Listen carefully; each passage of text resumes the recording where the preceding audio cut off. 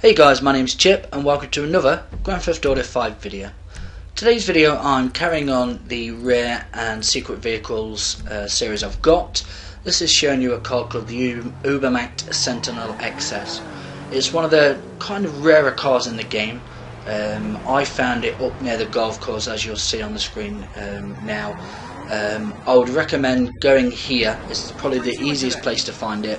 What I'd say is, if you can't find it straight away, then just go to Xbox Store, back out again, and then go back to the same area. Because every time you do that, it will spawn in different cars.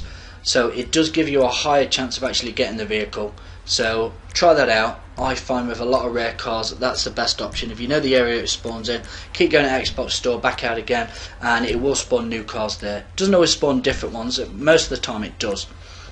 Um, get it. Take it into Los Santos Customs. Have a look at the uh, customizations for it. There's absolutely tons you can do with the car.